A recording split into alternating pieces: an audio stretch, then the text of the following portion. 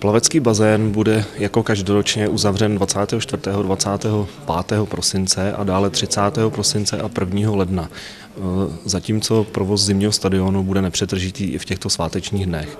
Veškeré detailní informace návštěvníci najdou na našich webových stránkách.